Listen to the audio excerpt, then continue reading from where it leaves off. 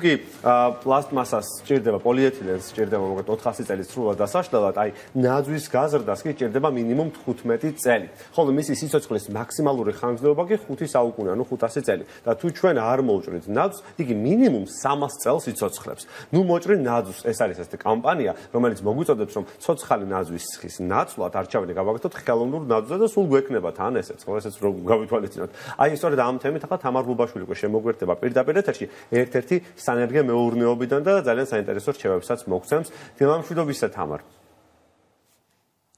დილამშვიდობის ახალი წელი ახლოვდება და რა თქმა უნდა ყველას გვინდა რომ ახალ წელს სახლში მქონდეს დღესასწაულის მთავარი სიმბოლო ნაძვის ხე ზოგი უპირატესობას ანიჭებს ხელოვნურ ნაძვის ხეს ზოგი ბუნებრივს თუმცა მთავარი არის რომ ჩვენი სახლი ისე მოვრთოთ რომ ამით გარემო არ დავაზიანოს სწორედ ამას ეხება ეროვნული სატყეო სააგენტოს კამპანია რომელიც ყოველ წელს სტარდება კამპანიის სახელი არის ნუ მოჭრი ნაძვს და ჩვენთან ერთად არის ამ თემაზე ვისაუბრებს სწორედ ეროვნული სატყეო სააგენტო აგენტოს იურიდიული სამსახურის უფროსთან დავით დამენიასთან ერთად. ბატონ დავით, ახლოვდება ახალი წელი და რა თქმა უნდა ამ პერიოდში იზრდება საფრთხე იმისი, რომ უკანონოდ იქნას მოპოვებული წიწოვანი. აი რას გულისხმობს მოდით ამ კამპანიით რომ დავიწყოთ, რას გულისხმობს ეს კამპანია და მე ვისაუბროთ, როგორ უნდა მოვიპოვოთ ეს ნაძვი ისე რომ არ დავაზიანოთ არც გარემო და კანონიც არ დავარღვიოთ.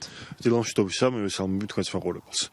ჩვენი კამპანია სწორედ ემსახურება წინა საახალწლო ცნობიერების ამაღლებას მოსახლეობის. ნუ მოჭრინაც სლოგანი მარტივია და მიზანიც მარტივია, რომ არ უნდა მოხდეს გარემოზე ეწოლა და ხეების მოჭრა ერთკვირიანი ან ორკვირიანი ინტერესის დაკმაყოფილების მიზნით.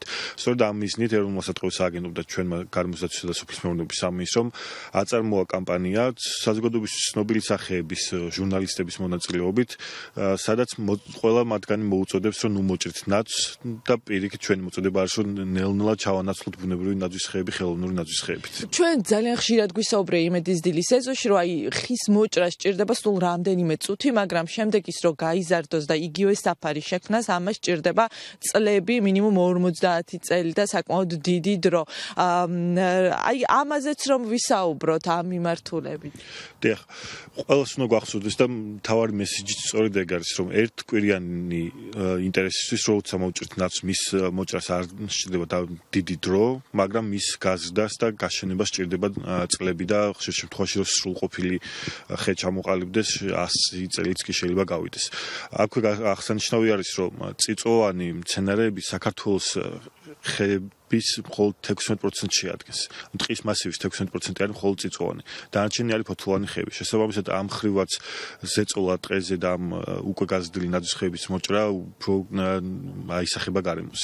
მესმის რომ თქვენი კამპანია გულისხმობს იმას, რომ ჩვენ სახლში გქონდეს ხელოვნური ნაძვის ხეები და არა ბუნებრივი. თუმცა არიან ადამიანები, რომელსაც მაინც სურთ, რომ თქვათ ბუნებრივი ნაძვით შეხვდნენ ახალ წელს. აი ასეთ შემთხვევაში მაგალითად რომ მივცეთ რჩევები და კიდევ ერთხელ რომ განმარტოთ. თქვათ ადამიანს რომელსაც უნდა რომ შეიძინოს ეს ნაძვი და შემდეგ გაყიდოს. აი როგორ უნდა მოხდეს კანონიერად აი ამ ხის შეძენა და შემდეგ უკვე კანონიერად გაყიდვა. დიახ, საინტერესო კითხვაა და მადლობა ამ კითხვისთვის.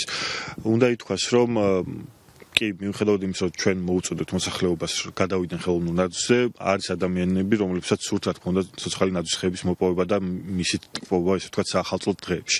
თუმცა აქ უნდა ვთქვათ რომ ეს სრულად არ არის აკრძალული ხეების მოპოვება ამ მიმართულებით მაგრამ არის კონკრეტული შემთხვევები როცა შეიძლება ლეგალური გზით მოიპოვო ნაძვს ეს არის კერძო საკუთრებაში მოპოვებული ნაძვები არის სანერგეები და არის ესე ვთქვათ იმპორტის გზით მიღებული მცენარეები. თუმცა ამ სამივე შემთხვევას ახასიათებს ერთ და აკავშირებს ერთი დოკუმენტი ლეგალური წარმოშობის დოკუმენტი რომელიც უნდა გაიცეს შესაბამისი მუნიციპალური ორგანოს მიერ და ამის შემდგომ შეიძლება მოსახლეობას რო ეს ლეგალური გზით მოპოვებული და გამოტანილი სავაჭრო ობიექტებში დადებული ნაძვის ხე შეიძინონ და უკვე დათქმენ საახალწლო დღეებში. აუცილებლად უნდა ვისაუბროთ სანქციებზეც უკანონოდ მოპოვების შემთხვევაში არის ფულადი სანქცია და ასევე პატიმრობაც. დიახ.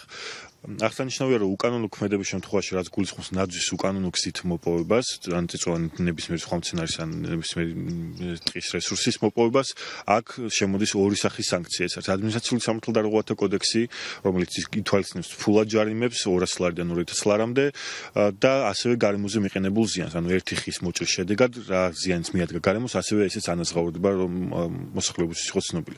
ხოლო თუ კი ამ ზიანმა გადააჭარბა 1000 ლარს ამ შემთხვევაში უკვე დგება სისხლის სამართლებრივი პასუხისმგებლობის საკითხიც და შემთხვევაში შეიძლება დადგეს პატრონობის შემთხვევებიც.